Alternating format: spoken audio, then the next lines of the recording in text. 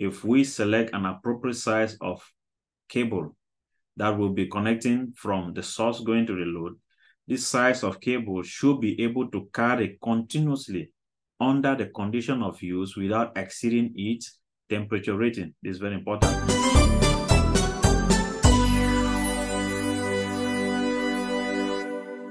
Worship Makoge Enterprises. Good day, everyone. Today's lesson is going to be on selection of cable or cable size. Um, the whole idea about this topic is going to give you an insight and a guide on how to perform certain calculations. And after doing the calculation, how do we select the appropriate size of cable for our different applications?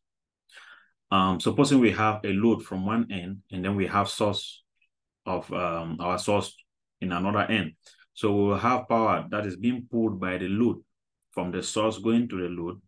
As such, we require a suitable size of conductor or a suitable size of cable that will be able to carry that amount of current leaving from the source going to the load. Is very important. And it will not only be able to carry the amount of current that is leaving from the source going to the load at normal condition, but we'll be able to carry that an amount of current that is leaving from the source going to the load at an abnormal condition, that is during temperature rise before the protected device will trip or will clear that particular fault is very important. If you've not subscribed to our channel, please do subscribe to our channel, do share our channel, and then also um, like as well. If you have any comments, put it in the comment below. So anytime we will be able to address your comments. And if you have any uh, suggestion to be made, or probably you have any uh, video or any lessons that you want us to talk about, just put it in the comment below and we will address them accordingly. I will share my screen now. So we dive straight to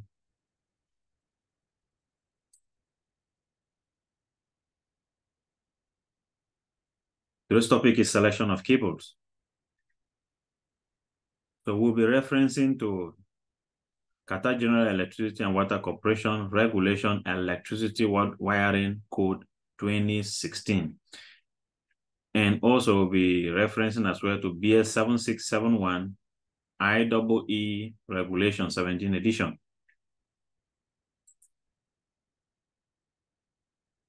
We'll move to the first point. Conductor size is selected to meet ampacity voltage drop and short circuit criteria. It's very important. So if we size our conductor size, it should be able to meet the ampacity, the voltage drop, and the short circuit criteria.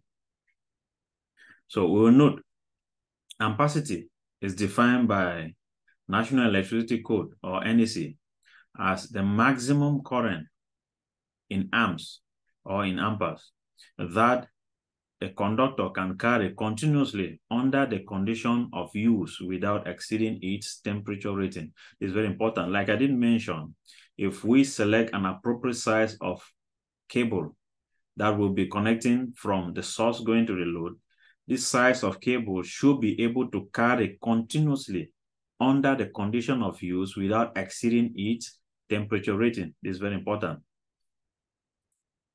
There's one more definition again as per Doha Cables. Doha Cables is a manufacturing company in Qatar that produces or manufacture cables. It defines cable ampacity as or current carrying capacity is defined as the continuous maximum current a cable can carry at a max and its maximum operating temperature. So you see both definitions, they all align. And they are all geared or centered at a point where we get to understand that that size of cable that we select for our circuit should be able to withstand an amount of current continuously without exceeding its temperature or operating temperature. We'll move to the next slide. For three phase, we have power which is equal to square root of three multiplied by voltage, multiplied by current, multiplied by power factor. So if we have to look for the current now, which is current IB, in this case is a design current, which will be equal to power divided by square root of 3 multiplied by voltage multiplied by a power factor. So we will now look for a corrected load current. So our IB in this case, so after we've done the calculation of our current IB, which is the design current, we now move forward now to look for the derating current so that we have our corrected load current. So our corrected load current now is going to be multiplied by certain derating factors or diversity factors. So in this case now, we'll be talking of, um, or taking into account certain derating factors such as um, environmental factors, uh, spatial condition of installation, and grouping factors. So when we talk of environmental factors, we might be talking of um, the heat that is dissipated and all that. So when we talk of a spatial condition, it should be installed probably under the ground, um, overhead, or exposed in air and all that. So we have grouping factors as well, etc. So it does not end at that level. So depending on where and how the installation is being carried out. Also takes into account the type of load. So the type of load could be either continuous or non-continuous load. So we talked of uh, continuous loads are said to be are said to run or operate for three hours and more or above, and often use 125% in design calculations. So after having our current or the design current now, we will now be able now to select our size of protective device, our size of uh, cable. After having the size of cable, now we move forward now to calculate the voltage drop and to see if it um, it's less than the maximum permissible voltage drop as per our regulation. So we have voltage drop, which is equal to 2 multiplied by MV slash A slash M multiplied by current times length divided by 1000 multiplied by the number of runs of cable. This is for single phase. So for three phase, we are going to have a square root of 3 on this side. So we have MV slash A slash M, which is a voltage per ampere per meters, which is um, resistance multiplied by cos phi plus the reactance multiplied by sine phi. And then we have um, the current, which is our current in amps, which is IB, the length L, which is the length of the cable from the source to the load in meters. The N is the number of runs of cable. So we'll now move to our next slide the MV here, MV slash A slash M, this value will be taken from our table, either from the cable manufacturer catalog or probably from um, IEEE regulation. We can also find it there, or probably from uh, IET, International Electrotechnical Commission, IEC. So we'll now move to the next slide. After calculation of the voltage drop, it should be less than the maximum permissible voltage drop, then the selected value is okay. But if it is greater than the maximum permissible voltage drop, we will have to select a higher value of cable, then again compute it back again and make sure that it is less than the maximum permissible voltage drop. If it is again still greater than, and then some special cases whereby we have um, selected our, our cross-sectional area of the cable is 300 square mm. Uh, for us to move further, it will be so large or so big to start carrying installation with uh, maybe 400 square mm of cable is too big. And as well as maybe it will require uh, more time to install and probably the cable tray uh, uh, uh, installation of different cables as well as the 400 size of cable tray will not be able to accommodate or might face some difficulties. And then when it comes to maintenance and all that. So in that case, we'll now limit it at 300 square mm. So when we have our voltage drop that still exceeds the maximum permissible voltage drop now, in this case, we'll have to double the cable size in order to reduce the voltage drop to a satisfactory value. It's very important. So we have for power circuit, which is 5%, and while for lighting circuit is 3% as per BS, the uh, British standard. While for as per Kahramaa, which is 4% for power and 3% for lighting circuit. So I'll give an example. We'll drive through this example so we get to understand exactly how to do or perform this calculation. An example, assuming we have a load of 140 kilowatts with a voltage of three-phase 415 volt, distance from the source to the load, which is 10 meters. That is the cable that is leaving from the source or the distance from the source going to the load will be 10 meters and the power factor is 0.85. Okay, method of installation of cable is underground pipe or trench. It is in either in the trench or underground, whatever. So we have to calculate now the size of cable for that application. The first step, we have to look for the current, which is a design current. So current will be equals to the power divided by square root of 3 multiplied by voltage multiplied by the power factor. So we now compute, we have a power of 140, we multiply by 1000 since we have our power in kilowatts. So multiply by 1000 divided by square root of 3, multiply by voltage, which is 415, as you can see here. Then multiply by 0.85, which is a power factor, which is mentioned here. So when we compute, we have our value, which is IB, will be equal to 229.14 amps. This is a design current. So now, over current protection consideration of current will be, we'll now have a new value, which is IN, which will be equal to 125% multiplied by IB, which is a design current. So when we compute that, we are going to have 286.4 amps. So move to the next slide. Current carrying capacity selected of selected cable will be taken from reference tables. So we'll go now to Qatar General Electricity and Water Corporation regulation table to select our size of cable, as you can see here. So we selected 4-core 240 square mm cable, which is XLPE copper cable, plus one core of 120 square mm PVC ECC. So when we go to our Qatar General Electricity and Water Corporation regulation, take you there now, we have this. So we'll go to the tables. We have some tables.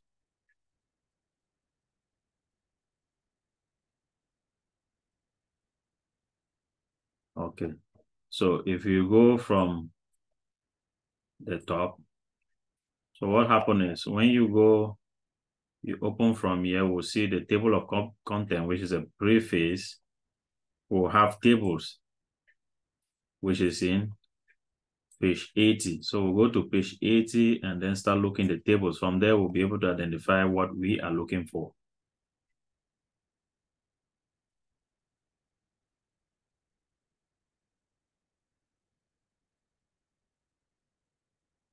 So we had to select our size of cable, which is 240 square mm. Looking our size of the, the cables, uh, the, the value of current that we have was 229. So when we multiply by 125%, we have 286.4. So we go now to our catalog. Maximum current, this is not what we're looking for. We look now to, we'll go to table 11, we are going to find what we are looking for. This is table 10, which is um, PVC insulated, and then we have XLPE insulated. So our cable uh, will be XLPE insulated.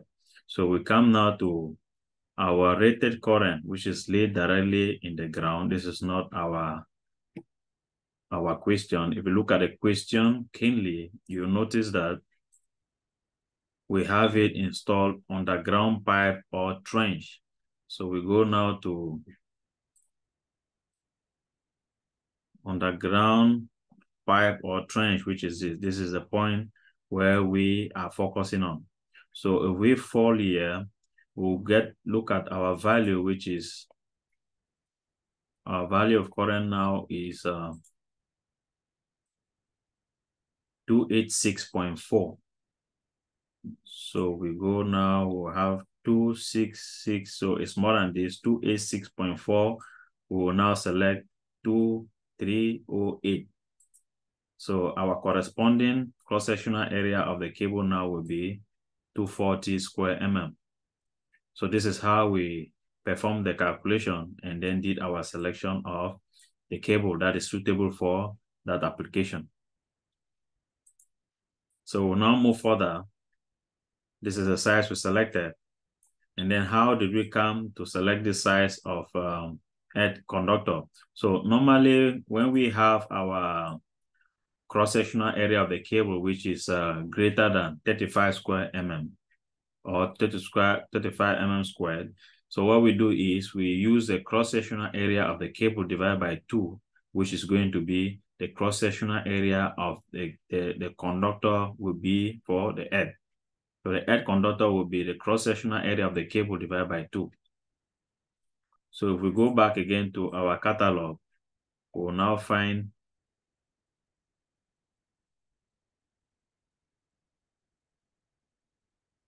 we'll go and then we see the minimum size of cable, continuity, conductors, and bonding leads. So if we have 240 square mm, we are going to select a cross-sectional area of head continuity conductor in square mm will be 120 square mm. So this is how we did our calculation and we landed at a different selection. So we'll now move to the next slide now to calculate the voltage drop. So voltage drop now will be equal to IB multiplied by MV slash A slash M multiplied by the length of conductor divided by 1000 multiplied by number of runs of the cables.